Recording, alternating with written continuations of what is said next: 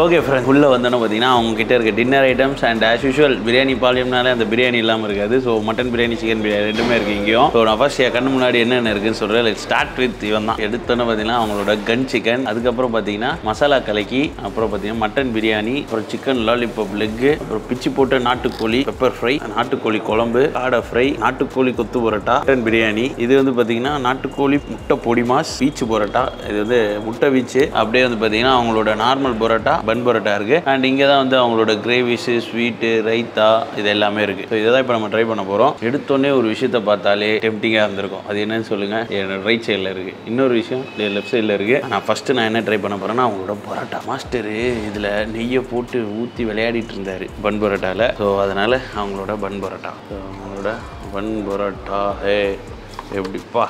நெய் தான் ஒரு ஸோ இது வந்து அவங்களோட நாட்டுக்கோழி கிரேவி தனியான ஒரு கிரேவி தான். எப்படி இருக்குன்னு பார்ப்போம். நெய் பன் பரோட்டா வித் நாட்டுக்கோழி குழம்பு நீ திருப்பூரை விட்டு கிளம்பு.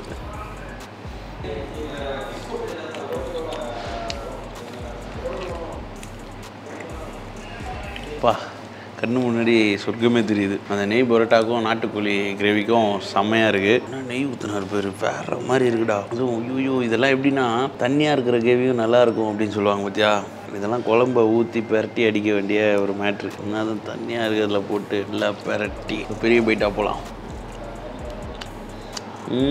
இந்த மசாலா நாட்டுக்கோழி கிரேவியில் அவங்க யூஸ் பண்ணியிருக்க மசாலா சான்ஸே இல்லை. நாட்டுக்கோழி அப்படியே இறங்கி போயிருக்கு அந்த ஃப்ளேவர் நம்ம எடுத்து போடுறப்ப பார்த்துருப்பீங்க ஒரு சட்டி. அதில் நாட்டுக்கோழிலாம் போட்டு வச்சுருந்தாங்க பார்த்தீங்களா அந்த கிரேவி தான். நாங்கள் பார்க்குறப்ப கூட கொஞ்சம் திக்காக இருந்தது. நான் திருப்பி கேட்டேன் இதுதானே அது நான் ஆமாம் ப்ரோ இதுதான் நாங்கள் டேஸ்ட்டு அல்லுது ஒன் ஆஃப் த பெஸ்ட் நாட்டுக்கோழி காணலாம் நம்ம பரோட்டாக்கு தொட்டுக்கிறதுக்கு சான்ஸே இல்லை. ஆஹா எடுத்தோடனே சூப்பராக போனால் வீடியோ வேறு மாதிரி இருக்கும்.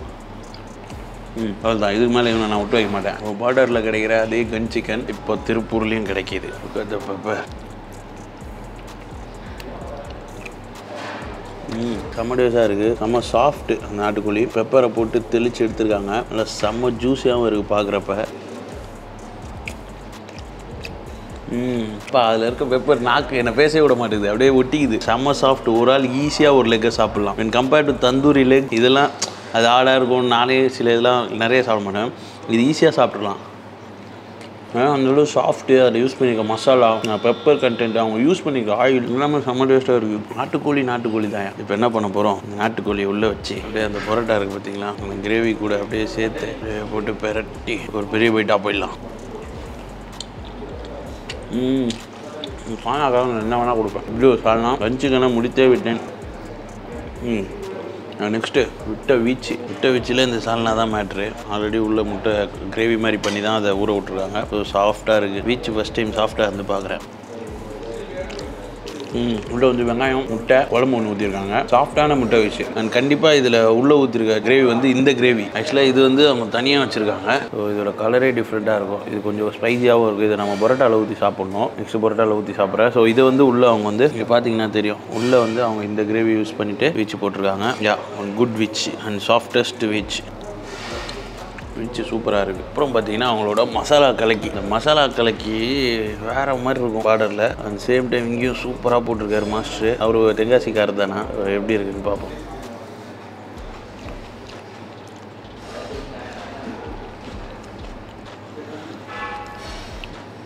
ஆக்சுவலாக இதுக்கு ஒரு நான் ஒரு பேர் வச்சுருப்பேன். மெக்சிகன் கலக்கின்னு. அதே கிரேவி தான் உள்ளே ஊற்றி போட்டிருக்காங்க. கலக்கிய அப்படியே சரியான ஸ்டேட்டில் நான் நல்ல கொல கொலன்னு அந்த கிரேவி மேட்ரு நார்மல் கலை குழம்பு கலக்கியை விட இந்த கலக்கி செம்மையாக இருக்குது மசாலா கலக்கி.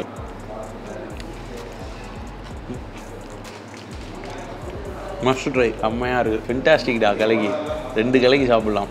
ஒரு மெக்சிகன் அந்த சாஸ் வந்தால் எப்படி இருக்கும்? அது மாதிரி ஏன்னா அவங்க வந்து அதில் சில்லிஸ் வந்து ஆட் பண்ணியிருக்கனால அந்த கிரேவியில் கலக்கி போடுறதுனால சூப்பராகவே இருக்குது ஸோ அவங்களோட இது வந்து நாட்டுக்கோழிலேயே பொடி மாஸ் பண்ணுறாங்க ஸோ பார்க்குறப்ப தெரியும் அங்கங்கே உங்களுக்கு அந்த முட்டை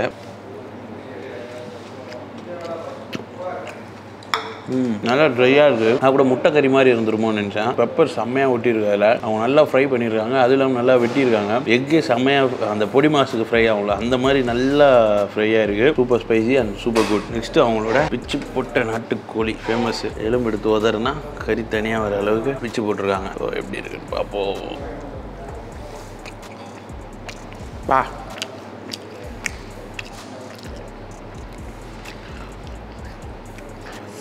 இதில் இருக்க பெப்பர் கண்டுட்டு அவங்க பிச்சு போட்டிருக்க அந்த கன்சிஸ்டன்சி எப்படி இருக்குன்னு பாருங்கண்ணா. சேம் டைம் இது ரொம்ப ட்ரையாக இல்லாமல் கொஞ்சம் ஜூஸியாக இருக்குது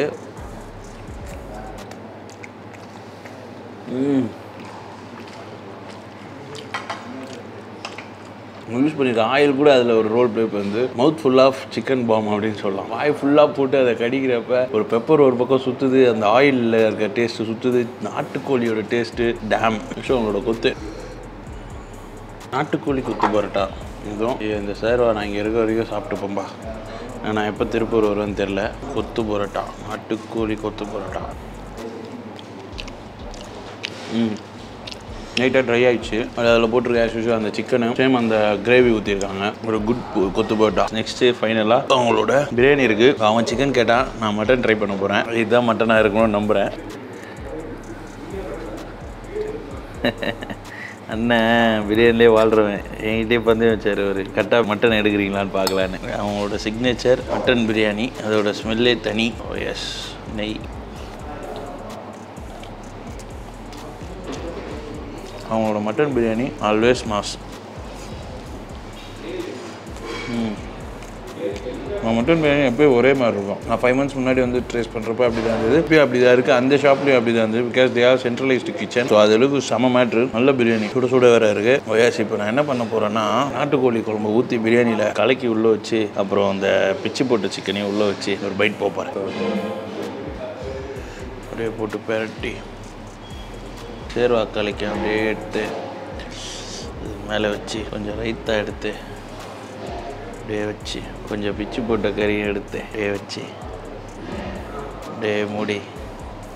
இதெல்லாம் இதை செஞ்ச செஃப்புக்கே தெரியாது. ஒரு பெரிய போயிட்டா போயிடலாம்.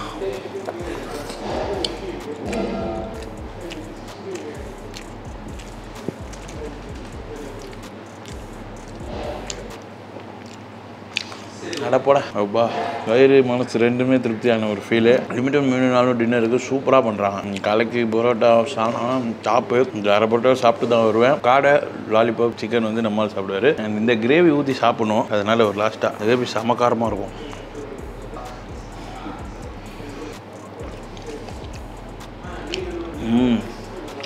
சமகாரம் அது கொத்துலேயே தான் போட்டிருந்தாங்க கலக்கிலையும் தான் போட்டிருந்தாங்க. பெஸ்ட்டு சால்னா அதுக்காகவே வரலாம். பிரியாணிக்கு வந்து அவங்க தால்ச்சா அப்புறம் ஸ்வீட்டு அப்புறம் ரைத்தா. இது மூணுமே கொடுக்குறாங்க. முடிச்சுட்டு வந்து நான் அவுட்டரில் பார்க்குறேன். ஸோ ஓகே ஃப்ரெண்ட்ஸ் சாப்பிட்டு வெளியே வந்துட்டோம். இன்னும் அந்த ஜில்லுன்னு காற்று ஜன்னலை சாத்துன்ற மாதிரி அடிச்சுக்கிட்டே தான் இருக்குது ஆனால் நான் சொன்ன மாதிரியே பரோட்டாவை சாத்து சாத்துன்னு சாத்திட்டோம். அதில் முக்கியமாக பார்த்தீங்கன்னா அந்த நெய் பரோட்டா. நெய் பரோட்டா வித் அந்த நாட்டுக்கோழி gravy was outstanding seriously நான் எக்ஸ்பெக்டே பண்ணல. அது அவ்வளோ டேஸ்ட்டாக இருந்தனால ஒரு பரோட்டா ஃபுல்லாகவே சாப்பிட்டேன். அண்ட் அதுவும் இல்லாமல் அந்த கன் சிக்கன் செம்மையாக இருந்தது. நல்ல ஜூஸியாக நல்ல ஒரு மசாலாவா பெப்பர் அதிகமாக போட்டு அழகாக பண்ணியிருந்தாங்க. அண்ட் தென் அந்த கலக்கி அந்த சேர்வா கலக்கி வாஸ் ஸோ குட் எனக்கு அதில் போட்டிருந்த அந்த கலக்கியில் போட்டிருந்த கிரேவி அதில் சிறு சாப்பிட்றப்ப செம்மையாக இருந்தது. அண்ட் தென் அந்த பிச்சு போட்ட கறி. பிச்சு போட்ட கறியில் வந்து நல்ல ஒரு ஸ்பைசினஸ் அப்புறம் அந்த பெப்பர் அண்ட் தென் அந்த ஆயில் அதெல்லாம் இருந்தது. ஆனால் அந்த நாட்டுக்கோழி அந்த முட்டை பொடி மாசு இருக்குல்ல அது நல்லா ட்ரை அது ரெண்டுத்துக்குமே நல்ல ஒரு டிஃப்ரென்ஷியேட் காமிச்சிருந்தாங்க. செம்மையாக வந்து ஓவரால் பார்த்தீங்கன்னா அந்த நாட்டுக்கோழிக்காகவே வந்து சாப்பிடலாம். அந்த கன் சிக்கன் நாட்டுக்கோழி பரோட்டா அப்புறம் அந்த கலக்கி. டாப்பாக இருக்கும் மூணு வச்சு சாப்பிட்றப்ப பிரியாணி ஆஸ் யூஷுவல் நான் ஆல்ரெடி சொன்ன மாதிரி அவங்க ஈரோடில் தான் ஸ்டார்ட் பண்ணாங்க. நம்ம பிரியாணி ஃபேக்ட்ரி டூர் கூட வீடியோ பண்ணியிருப்போம். அதுலேயே அவங்க நல்லா க்ளீனாக ஹைஜீனாக வச்சுருந்தாங்க. அதனால தான் நான் போய் வீடியோவும் எடுக்கணும்னு ஆசைப்பட்டு அந்த வீடியோ எடுத்தோம். அதுக்கப்புறம் ஈரோடில் நம்ம வீடியோஸ் பார்த்துருப்பீங்க. அந்த வீடியோ அங்கே என்ன டேஸ்ட் கொடுக்குறாங்களோ அதே எங்கேயும் கொடுக்குறாங்க. அது ஒரு பெரிய விஷயம். ஃப்ரான்ச்சைஸி இல்லாமல் அவங்களோட ஓன் இதுவே. ஈரோடில் ஆரம்பித்து இப்போ திருப்பூர் வந்திருக்காங்க. அண்ட் இன்னும் த்ரீ வீக்ஸில் ஊட்டியில் ஸ்டார்ட் பண்ண போகிறாங்களாம் ஸோ ஊட்டியில் அதே டேஸ்ட் எக்ஸ்பெக்ட் பண்ணுறேன் அண்ட் இவங்க கிட்ட நான் இவங்களோட இவங்க கொடுக்குற அந்த குவாலிட்டி ஹைஜீன் அது எல்லாத்தையும் இவங்க அப்படியே மெயின்டைன் பண்ணணும்னு நான் இந்த வீடியோ மூலிமா கேட்டுக்கிறேன். பிகாஸ் எல்லா இடத்துலையுமே அது கிடைக்கிறது கஷ்டம். பட் எஸ் ஓவரால் ஒரு நல்ல எக்ஸ்பீரியன்ஸ் எனக்கு. Biryani Palayam night time food try பண்ணதில். அண்ட் அது மட்டும் இல்லாமல் அவங்க வந்து குமாரபாளையம் இந்த காலேஜில் வந்து கேஃபிட்டீரியாவும் ஓப்பன் பண்ணுறாங்களாம் பெரிய விஷயம். So all the best for their future project and நான் சொன்ன மாதிரி அவங்க அந்த குவாலிட்டியை மெயின்டைன் பண்ணால் இன்னும் சூப்பராக இருக்கும். திருப்பூர் மக்களுக்கு ஹாய் இது நான் ஃபஸ்ட்டு சொல்லியிருக்கணும் இருந்தாலும் பரவாயில்ல. கடைசியாக சொல்கிறேன் திருப்பூரில் இருக்க பாய்ஸ்லாம் வந்து நல்லா சாப்பிட்டு போகலாம் ஓகே செஞ்சு இந்த வீடியோ சி நான் கிரேட் வீடியோ தேங்க்ஸ் ஃபார் வாட்சிங் டாடா பாய்